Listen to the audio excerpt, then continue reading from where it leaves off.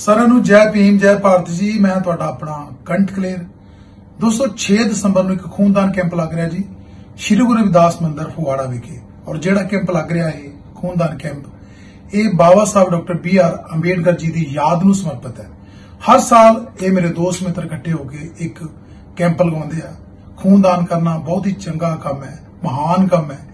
ਤੁਹਾਡਾ ਖੂਨ ਦਿੱਤਾ ਅਹ, ਜਿਹੜਾ ਤੁਸੀਂ ਖੂਨਦਾਨ ਕਰਨਾ ਉਹ ਕਿਸੇ ਦੀ ਜ਼ਿੰਦਗੀ ਨੂੰ ਬਚਾ ਸਕਦਾ।